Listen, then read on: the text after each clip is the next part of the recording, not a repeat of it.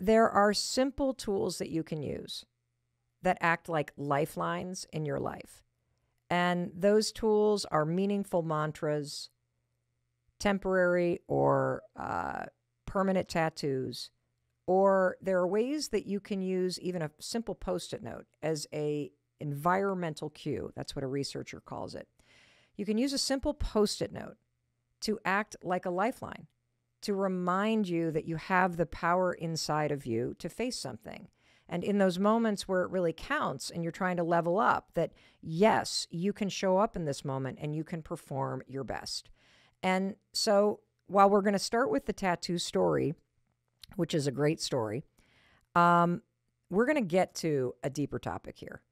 And by the time you're done listening to this episode, you're going to have a phrase that you've identified that will act like a lifeline for you moving forward. And because I always say this is not just a listening podcast, it's a doing one, I'm going to ask you to do something specific. And no, it's not to go get a tattoo. So, on the topic of tattoos, if you have a tattoo or you know someone who does, you know that every tattoo has a story. And mine uh, begins just a few weeks before our 15th wedding anniversary. Can you believe this? We've been married 26 years. So this would have been 11 years ago, right? 11 years ago. Yeah, 11 years ago. 11 years ago was 2012. And Chris, let's just set the table for everybody because 11 years ago, our life looked really different. 2012, you were still in the restaurant business. Mm. We were 800 grand in debt. we were struggling with drinking issues and we were trying to make the ends meet. And we thought a tattoo was going to save us. hey, we thought it would distract us. We we decided that on no, our- it was our anniversary. it was our anniversary. And so we decided that it would be cool if we got tattoos on the date of our 15th wedding anniversary. And Provided it wasn't the same tattoo. well, see, this is the thing. I wanted to get matching tattoos. I thought it would be super cool if you and I got the exact same tattoo on our 15th wedding anniversary. And what was your response? Never. Yeah, I think it was no fucking way. I, you, I think you said that is so cheesy. We are bound for divorce if we get matching tattoos. We are not doing that. And so that was kind of my idea. And Chris just shot it out of the sky. Boom, not happening. And so we Do got you remember what my reaction was to even getting it? We had been talking about it maybe a little bit. I don't remember. Do you remember yours? Was it an out of the blue idea that, hey, let's do this for our anniversary, or we had talked about it before? I think we had talked about how we both wanted to get one, and then we decided we'd get it for our 15th. And I thought we'd get matching. You said absolutely not. And then all of a sudden, we went into our corners and we were individually thinking about our tattoos. And as the date of our anniversary, August 24th, came closer and closer, and to the appointment, uh, I started to panic because I had no idea what I wanted for my tattoo. And then all of a sudden, you guys, Chris walks into the room one day and says, I've figured out what my tattoo is going to be. Why don't you tell him the story? Because I wanted to kill you when you told me what it was going to be. I grew up as a ski racer and was competing in races every weekend in my teenage years. And I was always that kid in the starting gate that was shaken like a leaf and worried about not the race but the outcome. You know, I was I was in my head thinking about what was going to be my time and how it was going to line up and um, And My- would it freak you out? yeah i was always it, it was always about the result Yep. you know the the end game if you will for Yep. me or at least this was the observation that ultimately my dad had of me and my dad was often at these races and he he helped me see the racing and the course a little bit differently by constantly suggesting that I just take it one gate at a time Hmm. to just rather than think about the big picture or the end game, just one gate, one gate at a time. And along the years, my dad and I would converse about this uh, without ever necessarily giving it a name of a philosophy, if you will. But he wrote a letter to me about it one day. And that was my that was my wake up my tattoo wake up call that I decided to pull the handwriting off of a letter my dad authored about just taking things one gate at a time. And so that became that became my tattoo idea. And and so describe where it is and what it is. I put this tattoo on my forearm, on my left forearm, and I didn't necessarily have a vision for having it kind of be oriented such that I could read it really easily, but mm-hmm. ultimately it was the tattoo artist who suggested kind of the the right placement of it. But it's yeah, it just says w- the word one and the word gate, one gate, written in my dad's ha- handwriting. It's beautiful. And so, being the shallow piece of shit that I am at times, when Chris uh, announced that he had figured out his tattoo and that he was going to take his dead father's handwritten letter to a tattoo artist and have that tattoo artist lift those two words, one gate, in his father's handwriting and put it on his left forearm where he could see it and have as a reminder. I thought that is the best damn idea. And now I have no idea what the hell I am going to tattoo on my body. That is so, I was so pissed and so jealous that you had such a good idea. And you guys, I freaked out and stressed out until the night before we were supposed to get tattoos. The night before we were going to go into this appointment, our 15th wedding anniversary, I still had no idea what I was going to put on my body. And then, luckily, a friend of ours who was one of my very first clients when I became a life coach, Deva, who owns the amazing store in Boston called Matsu. She stopped by to say hi, and we started talking about the tattoo. And I said, I have no idea what I want. She agreed. Chris's idea, that was a really good idea. Really good idea. And I um I didn't know Deva was the origin yeah, of this idea for you. Yeah. So what happened is I, I started saying, I, I don't know what to do. It, and she said, Well, I know what it should be. And I'm like, You do? What should it be? And she said, It should say it shall be. I said, What? What, what, what do you mean it should say it shall be? She said, You say it all the time. I said, No, I don't. She said, Yes, you do. I said, No, I don't. She said, Mel, you have coached me for years. You always say, if you put in the work and you hold the belief that'll happen, at some point it shall be. I had honestly never realized that I had used that phrase when coaching other people. And as she said it in that way, it just kind of went clunk. That's what I'm going to do. I'm going to put the words it shall be on the inside of my right wrist and it'll be both a reminder to me that if I do the work, if I have faith, if I keep my head down, and if I give up my timeline, it shall be. It'll all work out. It'll be fine. And um, so that was that. Now, meanwhile, there's another twist to this story. Because do you remember what happened on our actual 15th wedding anniversary? do I ever? That's the funniest part of the whole story. Okay, well, tell everybody. Well, just that Mel had Mel. You were in radio at the time. Yeah, right? it was when I was a radio host. So you guys, Chris was still in the restaurant business. So we were had, struggling financially. She had she was doing some show in Boston, and she had. It wasn't the tattoo artist. You had you had had some show talking about tattoos, Correct. right? Correct. Throwback, and um, all these people called in. And they suggested like the best tattoo parlor in town. Correct you, if you're going to get a tattoo you have to go to this guy. Yes. and you of course took it upon yourself to book us the appointment which was at that point had to have been six months out. Yes, and they had a huge wait list, so you couldn't even get in until like four months out. We booked this thing six months out, you guys. So you Put down this for big ass deposit. for our anniversary. We have a babysitter. We're going into Boston. We got our appointment. We're about to pull on the Mass Pike. And what happens? We're no, we're pulling out of the driveway, and you you're like, well, where we where we go? Let's get the address of this place, and then you said, well, let me just call him just to make sure, let him know we're coming, and you call him, and sure enough, the guy says, I don't know, we got you on the books for next week. And I start pleading with him. Oh, no, no, you can't. I, we made this six, blah, blah. No, no, no, no. It's next week. It's a week from today. But that's not our anniversary. I never would have screwed this up. This must be a mistake. Uh, can you just fit us in now? No. And we were going away. We could like we couldn't even make the following Yeah, but the, also the thing was, is it was supposed to be on the anniversary. Right.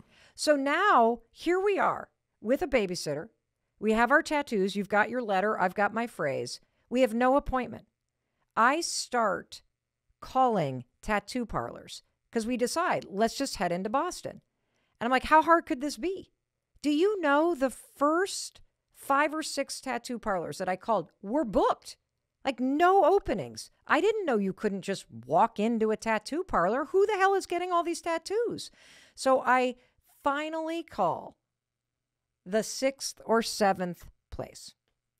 And it was a place that was right around the corner from this apartment that we used to live in in Cambridge, Massachusetts, when we first moved to Boston before we had kids for you to go to graduate school.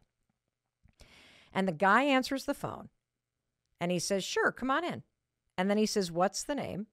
And I say, Mel Robbins. And he goes, You mean from WTKK, Mel Robbins? I thought I recognized this voice. I love your show. My wife's a huge fan of yours. Come on in. It turned out to be a guy that listened to my old radio show. So we drive to this place. The guy is this amazing, big, bearded teddy bear of a guy. He gives us this big old bear hug. Chris goes first because here's the next twist that happened. It had completely been lost on me that I hadn't even picked out a font or handwriting. And so I had the phrase, it shall be, but I had no idea what I wanted it to look like or how big it was going to be. So while Chris got his tattoo, I pulled up Microsoft Outlook and I started going through the font choices and ended up picking the only font that looked somewhat cool, which turned out to be something called like Zaftigs or Dabbigs or Zad. It was like a Z. Printed it out on his printer. And that became what I permanently put on my body. And I was having like doubts and second guesses, and Chris's looked so good.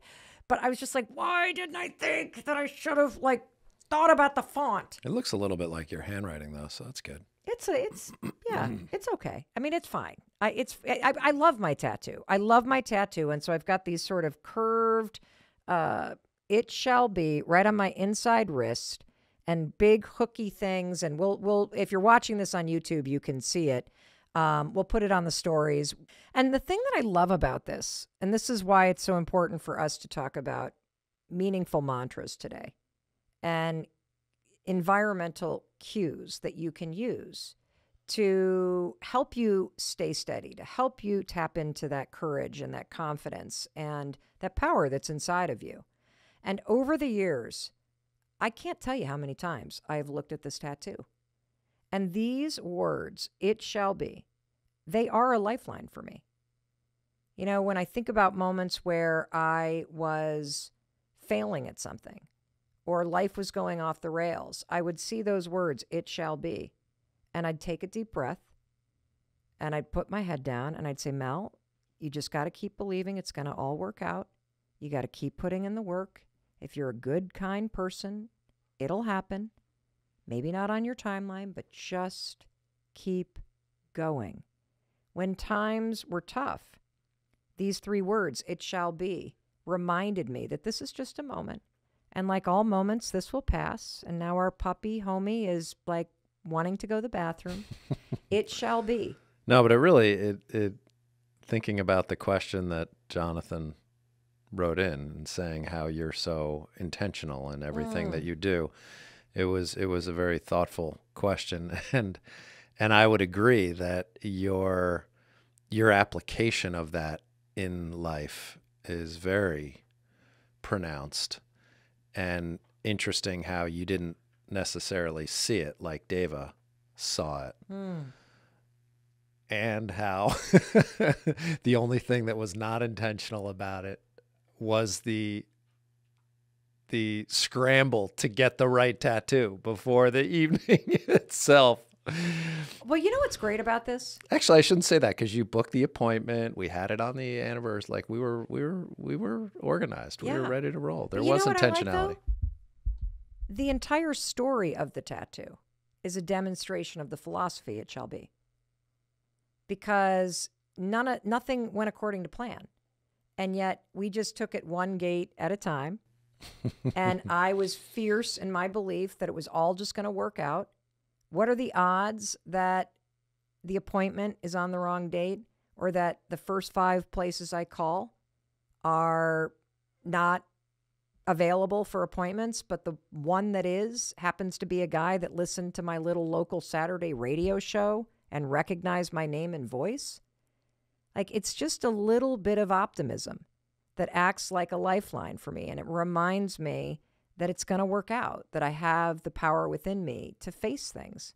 That's how I've been using this phrase, it shall be, over the last 11 years, because these have not been the easiest 11 years of our life. I would argue some of the hardest. The hardest for sure. I mean, when I think about the state that you were in when you left the restaurant business just two years after I got this tattoo and you just checked out of life, you're like, I'm getting sober. I have to heal. I have to take care of myself. And for two years, you were just comatose. And I'm like in survival mode. And I would look at this, my tattoo, it shall be, it shall be. And it gave me faith that if I just kept working hard, we'd figure it out. That we'd figure out how to pay the bills, that I would figure out how to build this business, that you would figure out how to heal and find your way back to yourself and to me. And even things like moving up here to southern Vermont and how hard that was. And feeling like I've just turned my whole life upside down. And yet there was this deeper knowing that drove our decision to move and to change our life profoundly from living outside of Boston to being in this tiny rural town. And on those days that I just felt so lost, I would look at my wrist and go, It shall be. It's going to work out. Like, I can do this. And even with the podcast, everybody was like, you know how crowded that is. You know how oh, there's 5 million podcasts. I was like, you know what? I'm playing the long game. I'm not, I'm, I'm, it shall be. I'm going to put in the work. I'm going to go for it. And, and I even feel that like when our kids are struggling. Like it just, it, it, it helps me, this phrase, it shall be, to put almost like a beacon out in the future. It's a reminder that at some point, the road ahead is easier and great things happen. And it gives me faith to keep going. I think the location of that tattoo is also properly aligned with you and your own just being reminded of that, right? Because if you had that tattoo on the back of your shoulder, I'd never you- see it. where you weren't seeing it all day, every day, you had always wanted to put it right. Something, whatever it was, you were thinking. Well, why get a tattoo and hide it? right? you know? I will tell you what I do want everyone to do. I do want you to take us passing you the mic very seriously. And I want you to try the power of creating a meaningful mantra or a word or a phrase that you can turn to every day. And I do want you to get a post it note or a piece of painter's tape or something that you can write your phrase, word, or mantra that's meaningful to you on it. And let's take it a step further. I'd love to see these. I And believe in you is a good one. I believe in you. I believe in you. For years, though, that probably, well, if I think about it from me in the present moment, it wouldn't sink because there have been plenty of moments where I didn't believe in myself. Mm-hmm. But if I think about it as a message from the future Mel, the person I'm becoming, as if she was saying to me, I believe in you, Mel. And I know what's coming. And that's why I believe in you. That would go, ooh, I love that. That's really, maybe that'll be my next tattoo. But it's interesting how you describe that as though it's something outside of you or a voice or something external. Mm-hmm. Like I don't think of one gate as like I don't hear my dad talking to me per se. Like I don't see my dad all the time. I think of it whereas what you were just describing is some larger voice, which is profound and and can be powerful, but it's uh it conjures up a visual. It shall be is a larger voice for me. Yeah. It is. And so I would love to see your meaningful mantra, and I'd love to see you. So take a photo of you and your post it note or you and your Sharpie and share your phrase or word or mantra and tag me, Mel Robbins, tag the podcast, the Mel Robbins podcast. You might even be featured on our social media channels, but mostly I just want to see you and give you a virtual hug and a high five. And um, I want to get inspired by you. Speaking of meaningful mantras that you say to yourself, there's something I want to be sure to say to you. In case nobody else tells you this today, I wanted to tell you that I love you I love you too. and I believe in you. I believe in you. And I believe in your ability to create a life that you love, one gate at a time. And if you do, it shall be. oh, let's go get tattoos. it's your friend Mel, and you and I are sitting here, and I was just confessing to you that I did a whole worry spiral this morning, and I'm teaching you one of my favorite tools the six sentence word, What if it all works out? We need to know that it is painful to stand there and be terrified that you're going to uh, not be able to say goodbye to somebody that you love because you're scared of flying and now you're sitting in an airplane seat. And when you say to yourself, what if it all works out? You know what it's like? It's like, okay, life just fired an arrow at you. And I want you to stop and think right now, okay? What is an arrow that life fired at you? And think about something going on in your life right now.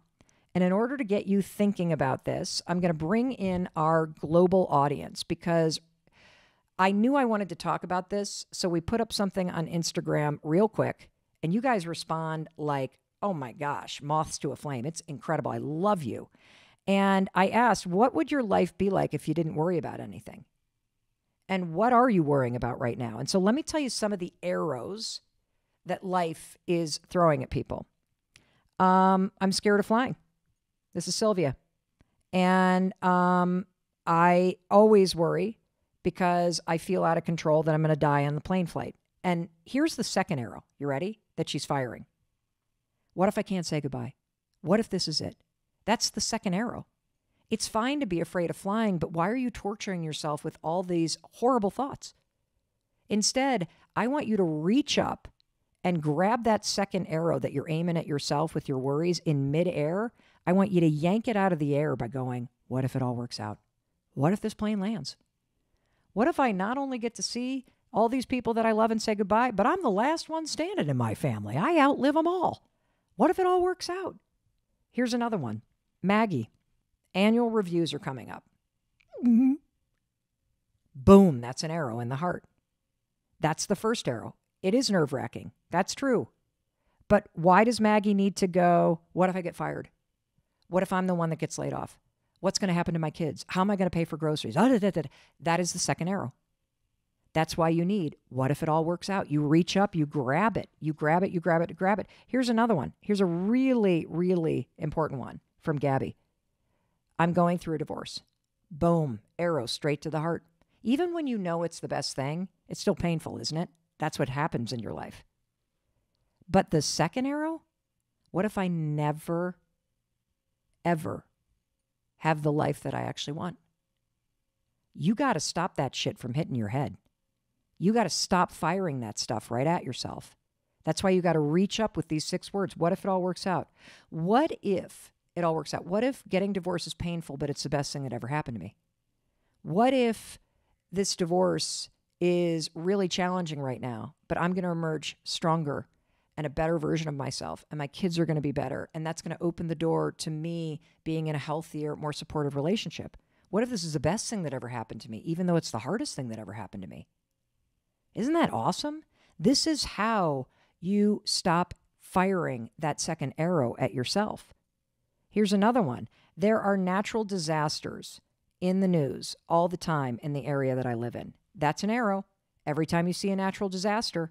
But why do you have to fire the second one at yourself? What if the mudslide takes out my house? What if the volcano erupts here? What if the floods come and they wipe out that thing? It hasn't happened yet. So, why on earth are you causing yourself this pain? I'll tell you why because we're used to doing it. This is what we do reflexively. Life fires an arrow, and then we fire the second one. And so, this is why what if it all works out isn't just putting lipstick on a pig or icing a shitty situation over with some like positive gloss. This is actually using science to combat your shitty habits of torturing yourself. This is you intervening with logic. Because if something bad hasn't happened, how does worrying about it help you right now? If you don't know what's actually going to happen, how does worrying about it or assuming the worst case going to make things better? It's not. In fact, you experience the pain twice because you experience the anticipation of it. And let's just say you are going to get fired. And look, I've been fired twice. I have been literally brought into somebody's office and told I'm doing a terrible job and let go. It is the worst. And then the second you leave, once you get over the humiliation of the whole thing, it's the most liberating thing that ever happens to you because you typically only get fired from a job that you can't stand anyway, or that you know that you're not performing in, which is the case. But I knew it was coming. I just could feel it. I tortured myself for a month. I didn't need to do that because it didn't change the outcome. If anything, it made me experience it over and over and over. And I'll tell you, anticipating it way worse than what actually happened. If I had just said to myself for those 30 days, what if it all works out, Mel? What if you do get fired and it's the best thing that ever happened? What if uh, you're not going to get fired, but this is a wake up call for you to step it up and actually start performing a little bit better? It allows you to stop experiencing so much pain. Actually, yesterday, I, I, I did this before I flew to Salt Lake because I was racing around the house. I couldn't find my freaking computer charger. I couldn't find my passport. I couldn't find the bag that I normally put my travel equipment in. And I was racing around. I was freaking out. I was like, oh my God, I, I only have 15 minutes before I got to go. What if I don't find the And I was like, Mel, stop. What if it all works out? What if you suddenly find the charger? Or better yet, you're an adult. You can get to an airport and buy a charger. So instead of literally firing arrows at yourself, you could stop firing it and focus. And that's why this is super, super important. I'm going to talk about the other reason why it's critical that you not escalate situations with this unnecessary worrying. Okay. Here, let me give you some other ones from our audience. Um, oh, Natalie. Anytime I see somebody else happy, boom, arrow to the heart. That's what's happening around you. Then she fires a second one. What if I'm never going to find my person? Does worrying about that help you find your person? No. It actually makes you feel more insecure. And this is where I want to go next because here's the thing there is a profound connection between catastrophizing and aiming these arrows at yourself and the pain that you feel and how it impacts your ability to problem solve to think clearly, This all comes from research out of UCLA from Dr. Judith Willis. I wrote about this extensively for my research in the High Five Habit book. We interviewed Dr. Judith Willis for that book and dug into her research. And she is pioneering all of this research around the connection between your nervous system and the ability for you to do what's called executive function. Executive function is basically the frontal lobe, the prefrontal cortex part of your brain, your forehead, basically, for those of us uh, kind of everyday people. It's your ability to problem solve. It's your ability to make strategic decisions. It's your ability to think clearly. When you start aiming that second arrow, my daughters must have fallen off a cliff. I haven't heard from her. Something terrible has happened. I'm going to get fired. I'm never going to be happy again. I'm never going to get this weight off. And the pain and the pain and the pain that comes with doing that to yourself it sets off the alarm, the fight or flight or freeze part of your nervous system, the sympathetic nervous system, it's called. And when the alarm nervous system is going off, it impairs the cognitive functioning in your brain. It impacts decision making. It impacts your ability to focus. It impacts your ability to problem solve. And so you're not only firing a second arrow at yourself, which causes so much pain, you are also firing that arrow right into the center of your forehead. And it impacts your ability to think clearly, to solve a problem. And here's why this is important. Let's just say for those of you that are really skeptical and you're like, "But yeah, but but but Mel, what if something bad does happen? What if what if your daughter did fall off of a cliff and she's laying there with a broken clavicle and and she needs help?" I'll tell you what. If I don't hear from her in 72 hours, I need to move into problem solving mode, right? Is it going to help me solve a problem halfway around the world if I've shot an arrow into the center of my forehead? And I've worked myself into such a state that I can't think clearly? Uh, no. And so, even if the worst case scenario that you're terrified about happens, your ability to face it, to problem solve through it, to think clearly about your options, it is severely impaired by this constant worrying that you are doing. And that's why this is so important. What if it all works out? It doesn't guarantee that it will. It guarantees that you will stay calm, that you will stay focused, that you will stay present, and that you will stay positive until you know otherwise. And that's everything. All right, I'm going to hit the pause real quick. I got to run to the bathroom because I have a feeling that I'm going to be talking to you right up until the time I got to race out of this hotel room to go give a speech. Don't go anywhere. I got more that I want to share with you, including a lot of really cool research. Stay with me.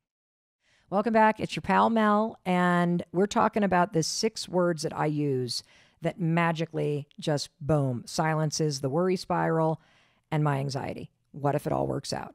Okay. And another thing I'm going to confess to you is that until I stumbled on this, what if it all works out? I didn't realize how much I was doing this to myself.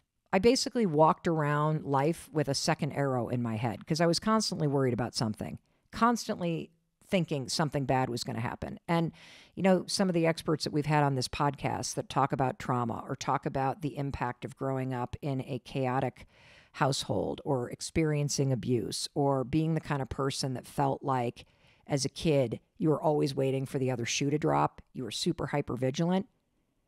This is very, very common for people like us. That is me. Miss looking around the corners, what what what what is the bad thing that's going to happen, anticipating things. And what I'm here to tell you is that if you start to really lean into what I'm talking about, which is how you aim the second arrow at your forehead and you start utilizing, well, what if it all works out to grab the second arrow, yank it out of your forehead, and be present in the moment and not escalate things until necessary. You can still tap into your intuition. You can still look around corners, which is a superpower for you. But you don't have to add on the pain that all of the negative thoughts are creating. And there's so much research about this. First of all, stress can actually lead to physical pain. It comes from Dr. Arthur Barsky, who's a professor of psychiatry at Harvard Medical School, where they've done these studies uh, about how stress can lead to physical pain. And let me tell you something when you start allowing yourself to worry. I'm not going to get into college. Uh, I'm not going to be finding love uh, after my spouse has died, or I'm never going to get this weight off, or I'm not going to get control of this. When you start doing that to yourself, it does cause physical pain. And you know this. How many times have you been so stressed out or worried that you get a headache? Or you've been worried before a test and you get nauseous, don't you? Or you start shaking or your stomach is twisting in knots. That's why we say twisting in knots, because that's what it feels like. It's physical pain. And a lot of times it begins from your nervous system getting triggered. That's the first arrow. And the second arrow is your thoughts. So they've done all of this interesting research. And what they have been able to prove in studies is that the neural pathways in your brain that indicate physical pain, the same ones light up when you have a painful thought. And it is painful to think that you're never going to be happy. It is painful to think you're not going to see your loved ones again. It is painful to think that you're never going to achieve your dreams or that you're never going to amount to something. That's why I want you to stop it. Scientists have also done this really interesting study where they looked at math anxiety. So, math anxiety is literally just feeling stressed out and worried when you're about to do math problems. And the anticipation of doing math prompts a similar brain reaction as when you experience pain. And the researcher, who is a professor of psychology at the University of Chicago and the leading expert on math anxiety, said that it is the equivalent of burning one's hand on a hot stove. And I love knowing this research because it allows you to stop and go, huh, it is true. Because it is painful. It's painful to think these thoughts.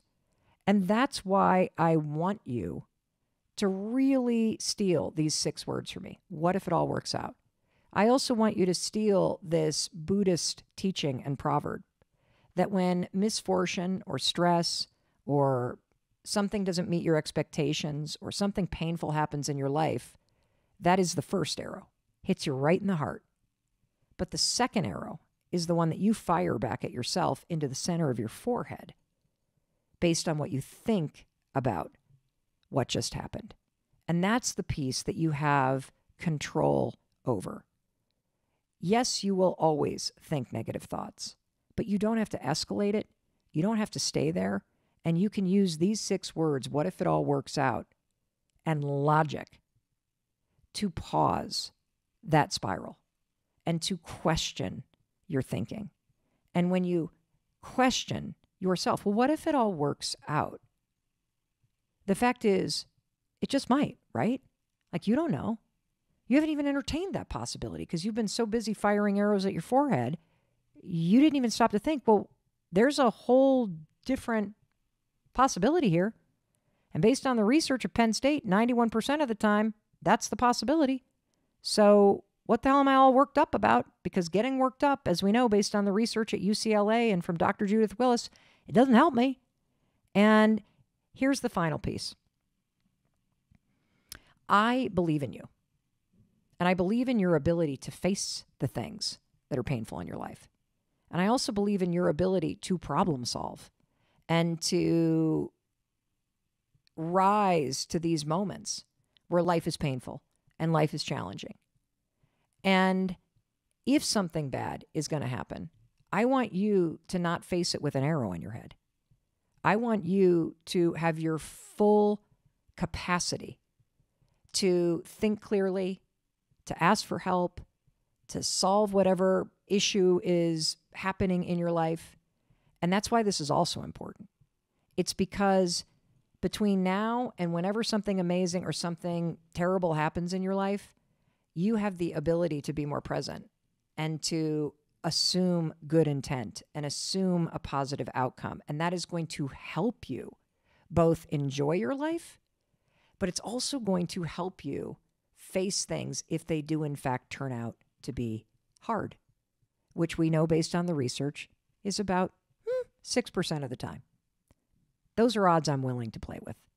I'm willing to play with those odds. I'm willing to bet that things are okay. I'm willing to bet on you and me and our ability to be more positive, to be more optimistic, to be more trusting, and to live in that space until we know otherwise.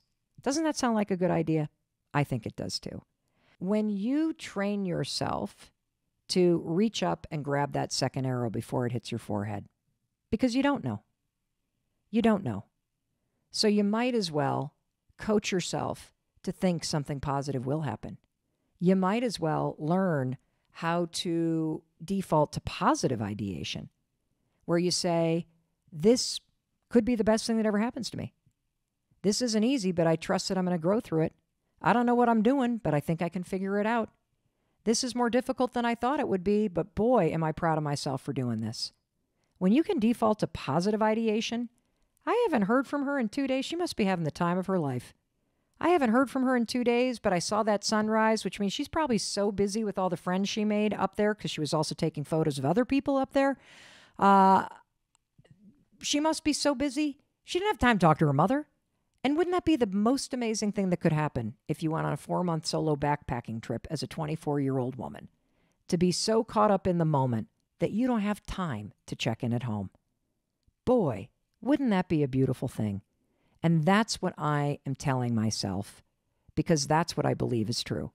And research shows that getting your mind to focus on positive thoughts, positive outcomes, visualizing, hey, what would it look like if this all works out? Scientists call this positive ideation. It is so effective in beating down that worry. So I want you to try it.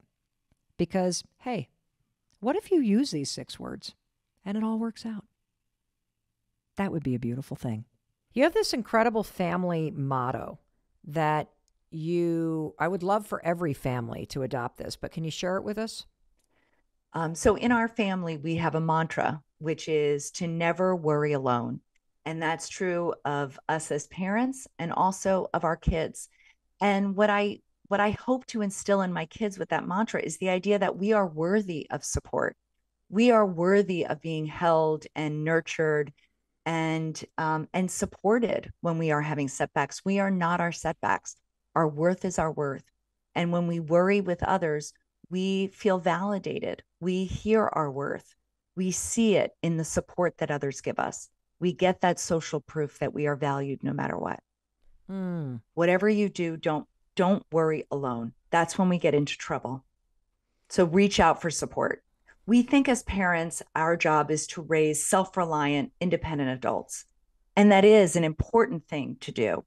But there is a more profound lesson that our kids need to learn if we want to raise them to be healthy. And that is the skills of interdependence, how to rely on others and how to have others rely on them in healthy ways. And so that's where the don't worry alone comes from, is part of the skills that I'm trying to teach my kids of interdependence. Oh, wow. That's so important. You're right. And we do focus on kind of pulling yourself up by your bootstraps and being self respons being self-reliant and taking responsibility that modeling healthy connection and interdependence, getting support when you need support, talking about your feelings, that we got to model that too. And if you're not, you're teaching somebody to suffer in silence the way that so many of us have for generations. One other thing that I love that you wrote about was uh, this idea that being good enough is way better than being perfect. Why is that? Yes. So I, I, talk about this in the book that um, when my oldest was born almost 18 years ago, I thought about going back to graduate school to get a PhD in psychology so that I could be the perfect parent with the latest research. And I know, crazy, right? Yes. And what I found is that perfection as a parent does not serve me and it does not serve my kids. What serves us both better is this idea of being good enough and the good enough mother is responsive to her kids' needs. She doesn't meet every need because she can't. Only, uh, you know, no one can. But to be responsive, to acknowledge it, to validate the need, and to do the best that you can do. And that takes us off the hook as parents, not needing to be perfect. And it helps our kids, you know, regulate their emotions when they get a little bit disappointed and frustrated that they can't have the perfect parent in this situation. It reminds me of this thing that you wrote that the difference between getting a 91% on a test and a 99 is having a good life. that is it. that, that is it. And, uh, you know, as parents, I, I certainly fell into this trap myself. The idea that we had to put our needs behind our kids at every turn. And I certainly subscribe to that idea of needing to be the perfect mother. And then I realized that I was getting burnt out. And I would say the thing that really changed my mind about all of this is the research. The number one intervention for any child in distress is to make sure the primary caregiver, most often the mother or the father, that their well being, their mental health is intact because a child's resilience rests fundamentally on their caregiver's resilience. And caregiver's resilience rests fundamentally on the depth and support of their relationships. I want to make sure everybody heard that.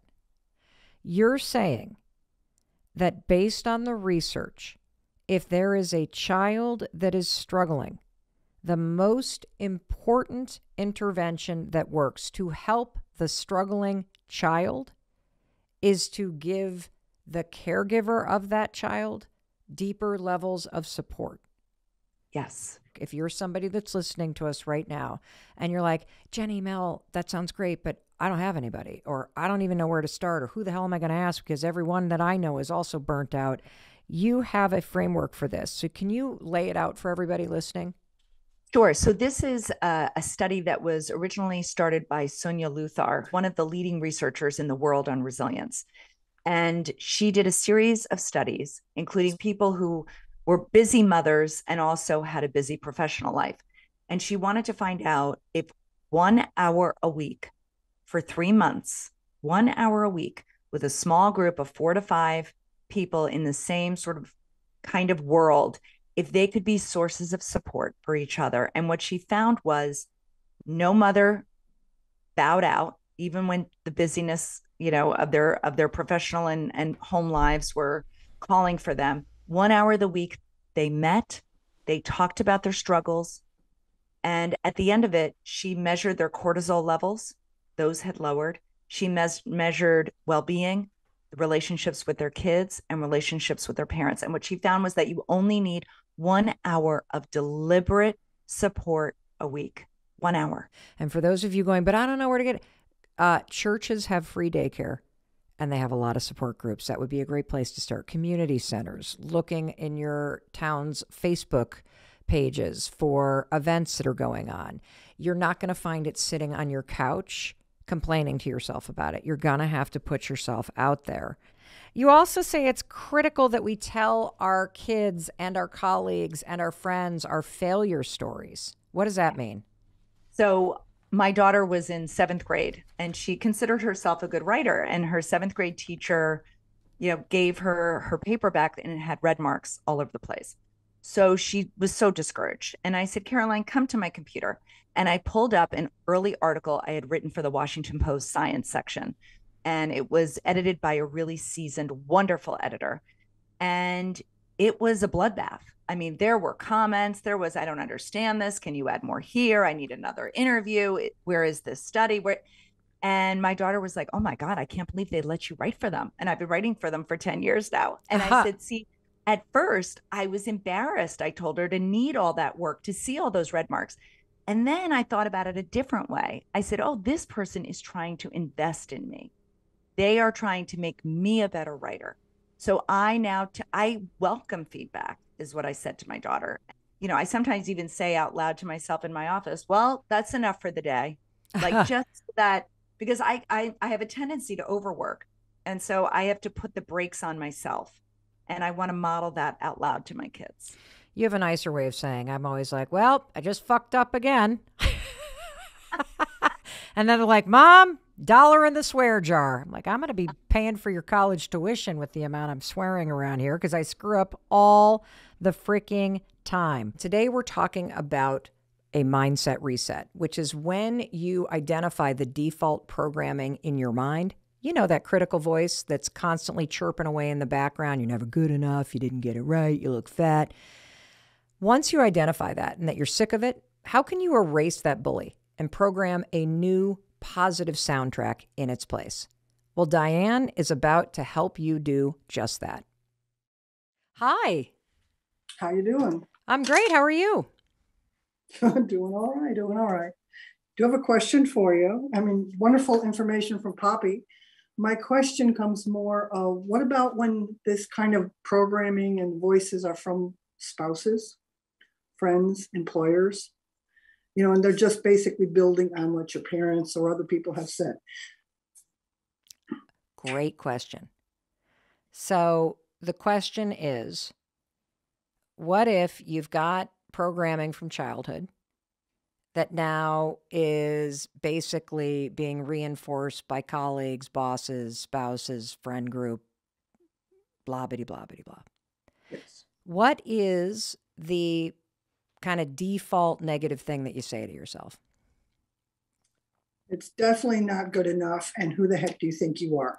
Ooh, the who the heck do you think you are? That has a real bite to it. Um, yes, it does.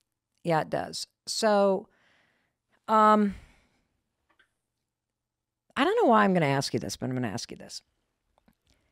Were either of your parents on the narcissism personality disorder by chance spectrum?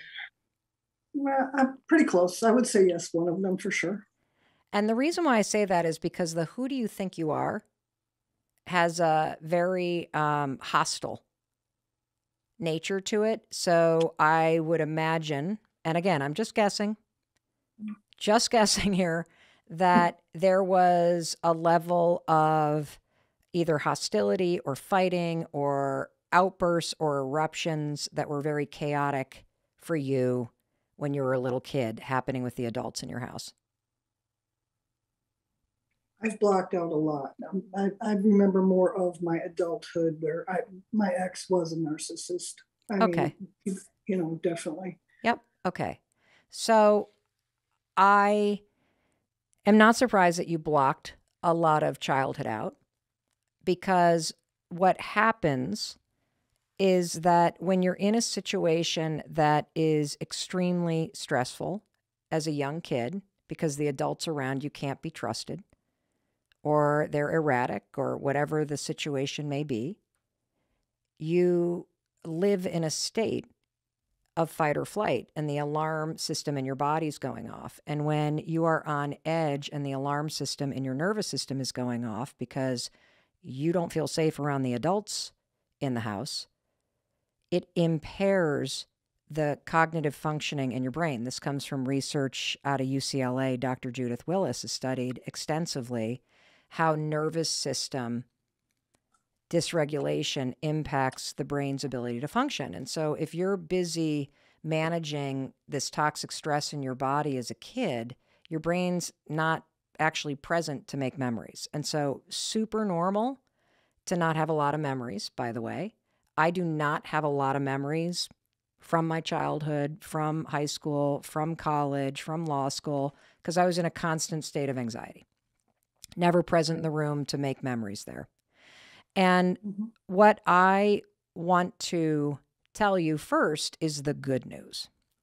So, the good news is, even though you have been the victim of being with a narcissist and you have had a childhood that was fraught with all kinds of stuff, you can change your brain. You can learn how to calm your nervous system and you can absolutely change the programming in your mind. And I want you to relate to the programming in your mind as if it was deliberately put there. Because even though mm-hmm. a narcissist or somebody with a narcissistic personality is not deliberately doing this to you, they are so incapable of empathy, they're not even considering you and me. We're objects. They're just doing what they're doing. But we literally get damaged in the way that we think about ourselves when you're around somebody like that because you think you're the problem. You think mm-hmm. that if there was something different about you, then everything would be okay. And lots of people with a narcissistic personality issue, they actually tell you that you're the problem. And so this was a deliberate programming in your mind at the hands of other adults. Now, the good news is you're an adult and you can take deliberate steps to reprogram your mind. And I'm going straight for like boom in the face on this because I want you to realize that you got to get deliberate about this. That okay. somebody else trained you to think this way. And it is a level of being deliberate. As if I said, You're going to move to Russia and you got to speak fluent Russian. I realize you've spoken, how old are you? 65. You've sp- spoken English for 65 years. Mm-hmm. But for the rest of your life, we're going to speak Russian. We're going to okay. speak Swahili. We're going to speak a different language. and you can learn a different language. And learning to shut off the abusive voice in your head and teaching yourself through thought sub- substitution a different language is what you're going to have to do. So that's number one. Number two, you're not going to overnight be able to look in the mirror like, I love myself. It doesn't work that way because you've had a lifetime of people telling you otherwise. And your brain will reject any mantra that you choose that you have actively tried to disprove. And mm-hmm. so we got to pick something for you that you may not quite be there yet, but you believe in the truth of it. And mm-hmm. what I believe that everybody deserves is I think you can say, I deserve to be happy, or I'm a good person who's trying her best. And I deserve to be happy. I'm a kind person who deserves respect. I am doing the best I can and that's good enough. Like there are these mantras that kick the narcissist, you're not good enough, who do you think you are thing out of your head. And mm-hmm. you can say something back that's like, hey, I'm a kind person, I'm doing the best I can. And that's good enough. And that is enough of a rebuke. And it's believable enough, even when you're beaten down, that as you repeat it and repeat it and repeat it and repeat it to yourself, because you're going to have to, you will start to believe it. And one final thing that I wanted to say to you is that you know how you said that the programming started with my parents and then it was an ex and then it was colleagues and then it was a boss and it was this. That may be true. But we've also got to start to do the work of catching the filter in your brain. So, yes, your boss may be uh, an erratic douche who calls out the things that are negative or is always in a grouchy mood. Mm-hmm. But that doesn't mean anything about you. This is where your filter and the programming in your mind scans the world and reads your boss's crappy mood as having to do with you. Because mm-hmm. the narcissists in your life made you feel like everything was your fault. For all you know, mm-hmm. your boss's wife is having an affair. He's going through a tumultuous divorce. He's dealing with like some issue in his gut and he has irritable bowel syndrome, which is why he's always grouchy. And he's a really sad sack guy who can't get his shit together because he has childhood trauma, none of which has to do with you. Mm-hmm. But your programming in your mind makes you think everything's your fault. And that's also the part of the work that you're going to need to do. You got to reprogram the words you say. Hey, I'm a kind person. I'm doing the best I can. That's good enough. Or I deserve to be happy, especially after these assholes that were in my life. You can put a little sauce in there. Like, you know, you can tell I like a little spicy mantra, like something that, you know, because if you don't quite believe it, if it doesn't like loosen you up a little bit, that's not the right thing to say because most mantras are bullshit because people pick things like, I love myself. And then they spend the day going, You look like shit. You screwed that. Like, no, you don't love yourself. I need to give myself a break. I'm doing the best I can. Now, there's a mantra I can get behind because I believe that. And so pick something believable, put a little edge or fun into it because it shakes the mood down a little bit. And then go to work on this filter that you have of making everything is your fault because it's freaking not your stupid parents, and your dumb ex husband, all of whom were mentally challenged with narcissistic personalities, made you think that horseshit. You're not to blame for that, but you have a responsibility to change the way you talk to yourself and to basically go, not everything's about me. Thank God. I love that you're laughing now. You seem lighter. What did you get out of this? I, I love the, the one thing, it's not everything's about me, period. It's not, it's not mine, not always, not all of it, you know, and really retraining the brain, really working through catching those filters. You know, and it's gonna have to be one step at a time. That's it. And and here's the give yourself a fucking break. Seriously. Give yourself a break. Like have a little bit of compassion. for- Wow. I got out of a marriage with a raging narcissist. I'm pretty awesome. Yes, I am. Yes, you are. Yes, I am. Give yourself more credit. And, you know, it is true. Like, we get so focused on our own bullshit that we convince ourselves that the world's problems are our doing. Most people have so much stuff going on and are so busy beating themselves up, they're not even thinking about you and me. Uh, yep. All right. You New got mantra. this. You got Yep. this. Uh, let me hear you say your new mantra. Well, quit taking myself so seriously. I'm not getting out of this thing alive. That's true. This ends the same. And and how about adding, I might as well enjoy the rest of the ride. There we go. I may as well enjoy Yeah. the rest of the ride. The first 65 kicked my ass. So let's have some fun the next 65. and they did.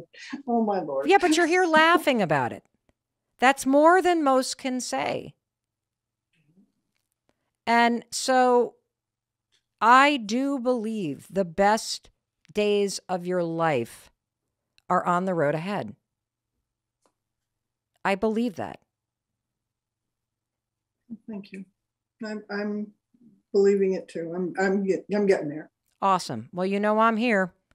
I'll be kicking your ass forward the whole way. Good. Let's go. All right, go get him. Awesome. Thank you. You're awesome. You Great question. If you were listening to that and you felt it deep in your body somewhere, I want you to know that when you have the revelation that the voice that you've listened to for years, the voice that's held you back, that made you feel like shit, that it's actually not even yours, that can make your heart seize for a minute. It's kind of one of those like, wait, wait, what? And then when I add on top of it that you're not to blame for the crap that somebody programmed into your head. You were just a little person with three pounds of macaroni that was trying to absorb everything around it. And our brains love patterns and it picks up on patterns of speaking. And that's what your brain did. And so if you're having this revelation, holy shit, I've thought that everything's my fault for my entire life because somebody made me believe it was. And then I held on to that belief. Don't freak out. This is great news because so many people spend their entire lives not even realizing that it's possible to change the way you think.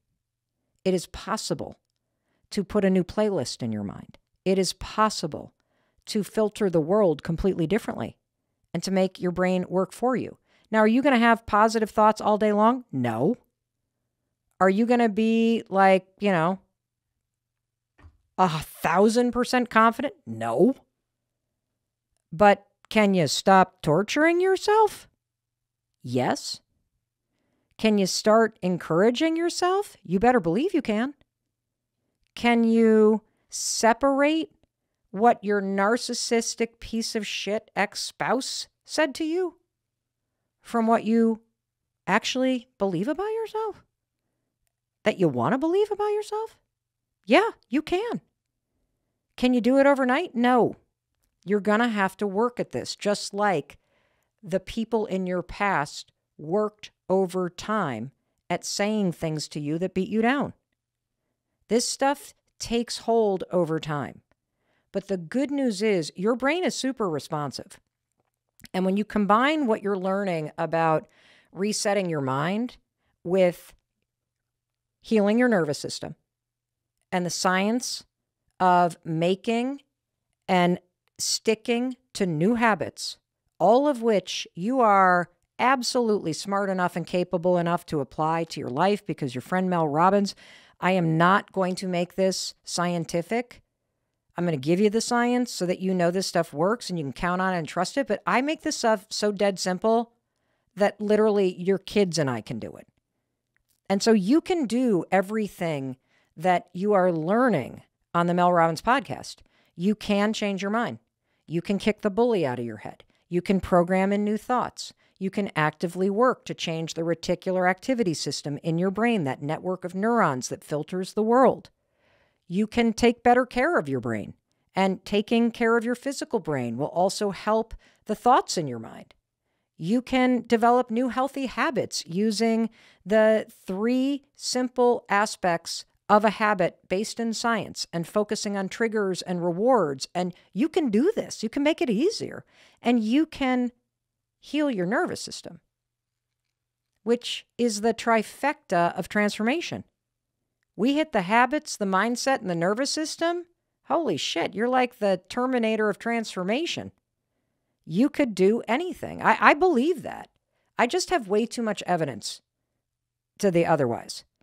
And if you're cynical about that, take a look at who, who taught you to be cynical. Just because life hasn't worked out for you the way that you wanted to up until this point, who fucking says it's not going to work out for you and the best days aren't ahead? I'll tell you who says you do. You decide whether or not you're going to continue to let all this crap you're not responsible for to hold you back, or you're going to take responsibility for what happens next. Heal your nervous system. You can do that, and you don't have to spend a dollar.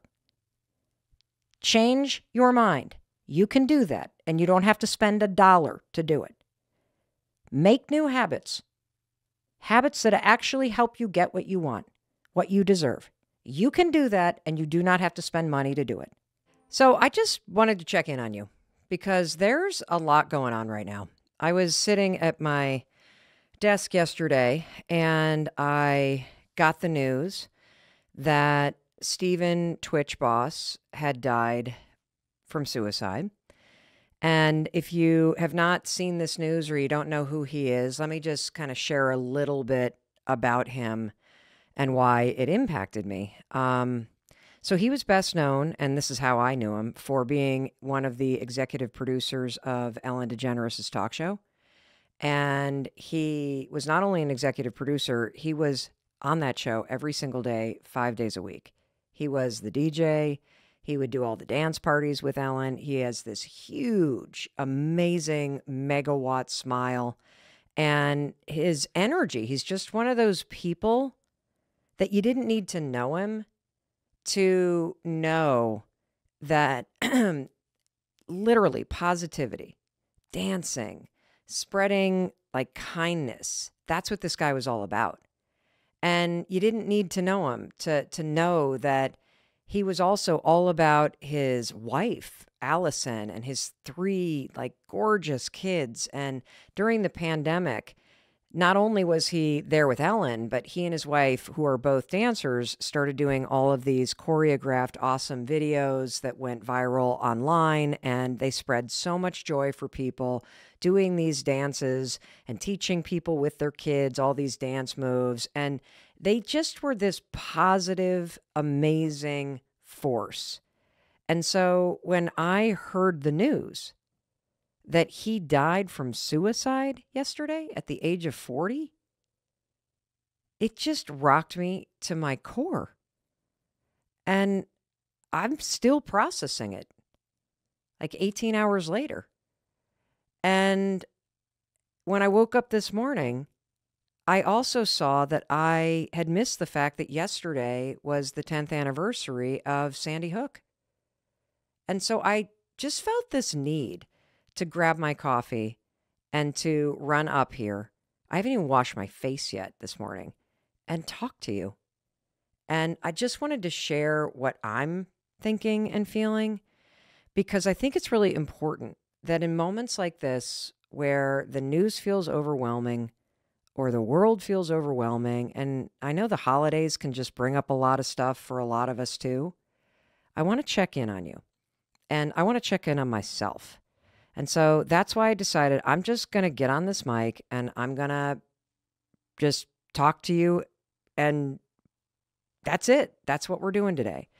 So, first things first, let's unpack, or I want to share with you what I'm thinking in the wake of learning that somebody that was so light and positive and amazing on the outside. How do you process that kind of news that they died from suicide? And notice the word I'm using. I'm saying died from suicide. And that's because I think about a death from mental health struggles the same way I think about a death from cancer. Like if you have a friend that dies of brain cancer, you say they died from cancer. If you have a friend or a loved one, as every single one of us does, who has died from a struggle with addiction or depression or trauma or toxic stress or any other mental health issue, that mental health challenge deteriorated the physical structure of that person's brain. That's what happened. The same way that brain cancer physically deteriorates the brain until it kills somebody. And so the word choice is really deliberate because it's a recognition of what actually happened. There's a couple other bigger things that I just have to say. And that is that you don't you don't need to know somebody. Like you don't need to know Twitch personally to be affected personally by the news of his death. You don't have to have lived in the Sandy Hook community to be impacted by the news that it was the 10th anniversary yesterday. Because these things that are happening out in the world trigger you to remember experiences of loss in your own life. And so, for me personally, I think one of the reasons why I have been so rocked by this news is because, you know, if you look at somebody like Twitch on the outside, this man exuded positivity. You never saw him without a smile on his face. You couldn't watch those dance videos without feeling the ripple of joy. And for me personally, it reminds me of a really dear friend of mine that died from suicide over 10 years ago. And the second that I heard this news about somebody who on the outside looked like they were just doing great, it reminded me of losing somebody that was the same way. And that may be happening to you. And the other thing that this is bringing up for me is that you just have no clue what's going on in somebody else's life.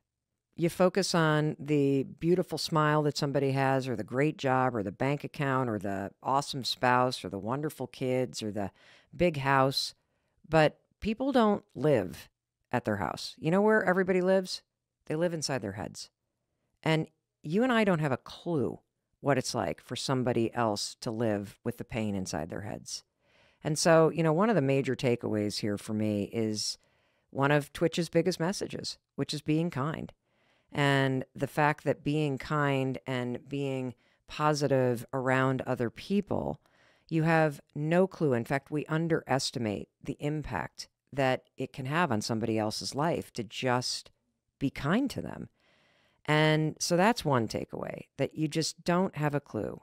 So please just don't assume that you know what's going on and assume that everybody is silently battling something.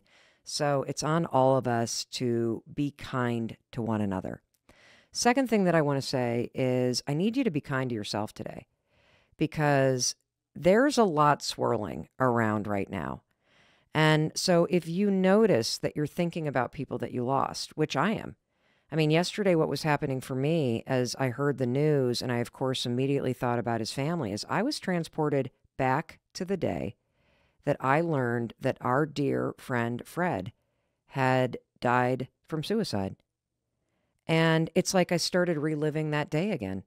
as I thought about the pain that Twitch's wife, Allison, and his three kids were feeling, I thought about this particular moment on the day that Fred died, where I was with his daughter and we were walking up the front steps to his house. And I knew that when we opened that door, I was going to be present when she learned that her father had died. It is a moment that changed me forever. And so that's also what was happening for me yesterday. And I was thinking about, you know, how much I miss Fred. And I was thinking about how sad and heartbroken I am about all the other people in my life that had struggled with mental health issues and addiction or hopelessness or depression and how they all died from suicide and just how much pain there is out there. It can be really overwhelming. If that's happening for you, just be kind to yourself. Like you may need to sleep in. You may need to go for a walk today. You should probably reach out to a friend and talk to somebody about it. It would be good for you to remember the person and and the things that you miss about them like remembering somebody that is gone and and thinking about the things that you really loved about them that's a really healthy thing to do on a day like today but simply being aware that news like this brings up stuff for you that's personal that's step 1 step 2 is being kind to yourself step 3 is being proactive about taking care of yourself today and reaching out and step 4 is understanding this issue in a larger context. And so now I want to kind of switch gears and address something that's pissing me off. As I see people processing Twitch's death in particular, because this hit me as hard as Robin Williams, as hard as Anthony Bourdain. And I think the reason why it hits people so hard is because you're trying to make sense of somebody who seems like they've got it all together on the outside. And it in your rational mind, it just makes no sense. And that is where the learning is. See, your mind is rational right now. You're objective. You're not living with the pain the person was living with. So when you look at the situation from your lens, you remove the pain that the person was feeling. And so it makes no sense to your brain because your brain wasn't compromised from the mental health struggle that that person was really battling day in and day out. And so let me go back to the example of brain cancer. If you have a friend that's dying from brain cancer, you see them deteriorate on the outside. You see what's happening. You would never, in a million years, when somebody dies from brain cancer, go, Oh, that's so selfish. Why did they choose to do that? What about their family? But they had so many resources. But I see so many people writing this horseshit online and it's pissing me off because it shows that you don't have a freaking clue what it means to struggle with a mental health issue. You don't have a freaking clue. And it really pisses me off when I see people that write really arrogant, pretentious things like, well, I struggled, I was in a dark thing, and I asked for help. Well, that's great. I'm happy that you didn't get so bad, that your brain wasn't so deteriorated, that you could ask for help. When somebody gets to the point that their brain functioning is so eroded that they cannot cognitively, rationally process the fact that there is a huge difference between ending the pain that you're dealing with and ending your life. When somebody gets to the point where they can't think clearly, it means the physical structure of their brain has deteriorated from the mental health battle. That's what that means. And that smile that people put on their faces the whole way through, that is so hard. Can you imagine to get to the point where you love your family so much that you think the only way to save them is to get rid of yourself. Like, this is just, that's how compromised your brain is. And so when I think about this like brain cancer, that the physical brain functioning is deteriorating to the point where nobody can think rationally, that removes all judgment. And all I have is compassion and sadness. That's it. That is it. And that is all there is to have for the people that you've lost, for the folks that we continue to lose. And for anybody that's listening to this, if this is you and you're in a really dark place right now, I want to speak directly to you right now. Because you're meant to hear this right now. You can address the pain that you're feeling in your mind and your body. You can. And there are people standing by right now that are trained that want to help you. And with support and with small, tiny moves forward every single day, you can make this pain lessen. You can loosen the grip it has on you, and you can feel better. You can also improve the physical structure of your brain. You can improve the way that you think so that your brain starts to support you. You can face this with a little bit of support. You can. And you can do that. And I want you to do that because we want you here. You have a big, beautiful life. And I know that if you believed that you could somehow lessen the pain you're feeling, you would want to live that life. And so please, please, please get support for the pain that you're feeling and hold on to the life that you have because your life is worth fighting for. And there are people that want to help you. We have resources in the show notes not only for here in the United States, but also for multiple languages, international resources. And so I just felt the need to talk to you, to check in with you. Um, be kind to yourself today. Stop assuming that you know what other people are thinking. Remember the people that you've lost and the things that you loved about them. And um, together, we'll get through this. We will. I promise. Hey, it's Mel. Thank you so much for being here. If you enjoyed that video, by God, please subscribe because I don't want you to miss a thing. Thank you so much for being here. We've got so much amazing stuff coming. Thank you so much for sending this stuff to your friends and your family. I love you. We create these videos for you. So make sure you subscribe. Mwah.